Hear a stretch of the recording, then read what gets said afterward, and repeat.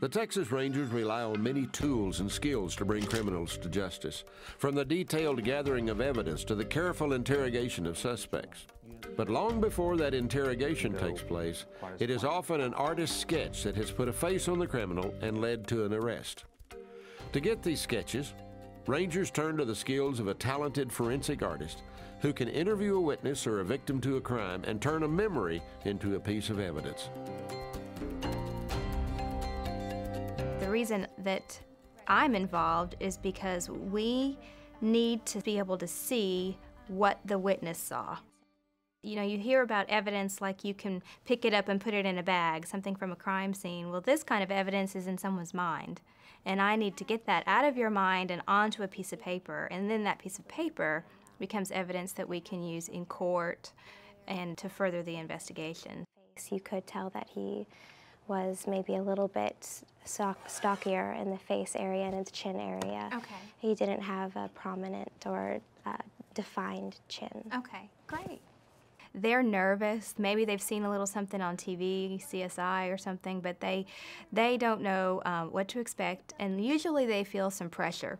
What I'm going to do is just start drawing what you've told me as we continue talking, okay? And I'm okay. going to ask for your input as we go along to, okay. to help me. Um, and there's really no right or wrong, okay? What I'm going to do is just get a basic idea going, and I'm going to show it to you, and you can help me with how to make changes, okay? And at the same time, I have photographic references that they can look at, which are simply pictures of parts of people's faces. It's a whole face, but it, a lot of it's grayed out so that you just focus on each feature at a time. Can you see the differences, how some of it's really, really close to the head, mm -hmm. and mm-hmm. others it's a little bit longer, but it's still considered a short hairstyle? Yeah. Okay. So if you can kind of give me an idea of what you saw on this suspect, and I can add that into the drawing. Um, it looks a little bit more like this. This one? They've picked these features, you know, okay, these eyes, this nose, hair like this, ears like this. I'm putting it all together into a new drawing. That's what the word composite means, is separately described individual parts put together into a new whole. So I'm creating this new image with all these little parts. What I do is not about being a great artist. It's not about creating something beautiful. It's about creating evidence. The important thing I always try to get across to the jury is I don't know what I'm drawing. The witness tells me, I don't know what he looks like. This he is an unknown. Whereas when you're sitting in court that day, of course they know he's the suspect because he's in the defendant's seat. But back it up a year and a half before when I'm actually sitting with the witness and doing the drawing, we don't know who we're looking for. So I don't know what I'm drawing. They tell me, they direct me how to change the eyes, how to fix the hair. And they're the ones that tell me, okay, stop. It looks pretty good. And when they say stop, I stop. And do you feel ready to take a look at the whole thing? Okay. Just tell me what you think. Wow. Um, that looks like him. You get a, a physical reaction, to, you know, to like cross their arms and back up. You know, they don't want to be close to it because it looks like that person. They might get chills down their arms. A lot of times women will get tears in their eyes because it does look like him and looking like him is is chilling to them. It's scary to them. And I hate that I have to put them through something emotional, but it does tell me that we did good. We did a good job together. Forensic artists not only recreate memories with pencil and paper, they also identify faces using nothing but bone and clay. These sculptures can help the Texas Rangers identify a murder victim who has been discovered buried in a field and the only evidence that remains is the victim's skeleton and skull.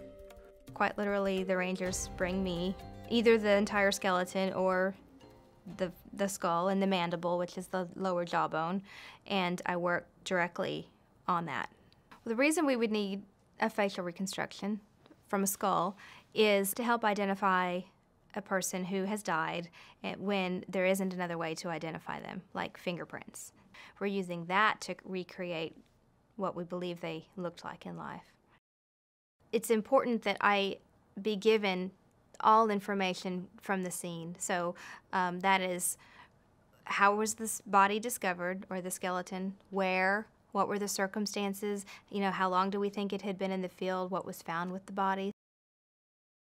It's a powerful thing. And because it's life size, because it is them, and it's on a stand, it's right in front of me, you are literally face to face with it. You have your hands on their face. It's almost like they want you to solve this case. You know what I mean? This is my way to help you. You can't speak for yourself any longer. The artwork produces results. This 17 year old boy was murdered and buried in a field, his bones discovered a year later. A facial reconstruction was created and photos were shown on TV. The victim's father recognized the image immediately, which led to the arrest and imprisonment of six people. They're somebody's family, they're homicide victims, there's there are unanswered questions out there. And I always feel such relief for the victim because I I'll go right back to that case in my mind and I'll remember what they went through and how hard it was. And I think, you know, that's justice for them. It's, it's wonderful. It's amazing.